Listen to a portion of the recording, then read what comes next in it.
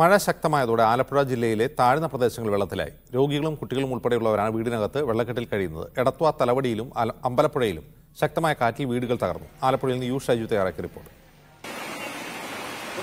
ആലപ്പുഴ നഗരസഭയ്ക്കകത്തുള്ള വലിയ ചുടുകാടിന് സമീപത്തുള്ള ഒരു റോഡിലാണ് ഞാൻ നിൽക്കുന്നത്. ഈ റോഡിൽ ഇപ്പോൾ തന്നെ ഈ അർത്ഥത്തിൽ വലിയ വെള്ളമാണ് ഉണ്ടായിട്ടുള്ളത്. ഈ വെള്ളം ഇവിടെ കയറി പത്ത് വീടുകൾ ഏതാണ്ട് വെള്ളത്തിലേക്ക് മാറുന്ന കാഴ്ച ഇവിടെ നിന്ന് കാണാൻ കഴിയുന്നു.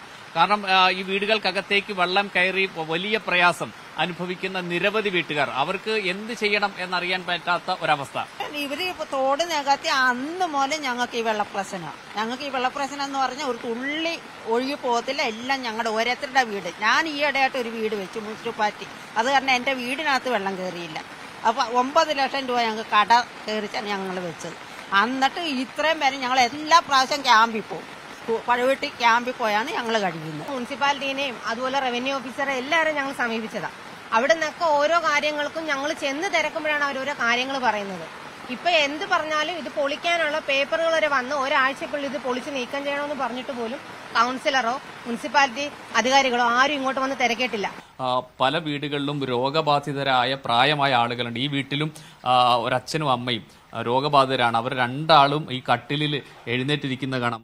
ഇന്നലെ എപ്പോഴാണ് ഈ വെള്ളം കയറിയത്? മൂന്ന് മണിയായി. മൂന്ന് മണി. രാത്രി മൂന്ന് മണി. കിടന്നുറങ്ങുമ്പോഴായിരുന്നു. ആ ഉറങ്ങുമ്പോഴായിരുന്നു. ഉറങ്ങുമ്പോഴാണ്. വെള്ളം കയറി ഒരു ഓപ്പറേഷനൊക്കെ കഴിഞ്ഞ ആളാണ് ആ ഇവിടെ എല്ലാവരോടും പറയുകയും പിടിക്കുകയും ചെയ്തിട്ട് ഒരു ഫലം ഉണ്ടായിട്ടില്ല.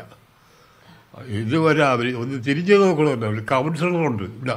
കുട്ടനാട്ടിലും ആലപ്പുഴ ജില്ലയുടെ പല ഭാഗങ്ങളിലും വെള്ളം താഴ്ന്ന പ്രദേശങ്ങളിൽ വെള്ളം കയറി ജീവിതം ദുരിതത്തിലായിരിക്കുകയാണ്. എണ്ണിപ്പറയും ഓരോ വോട്ടും ജൂൺ നാല് മീഡിയ വണ്ണിനൊപ്പം.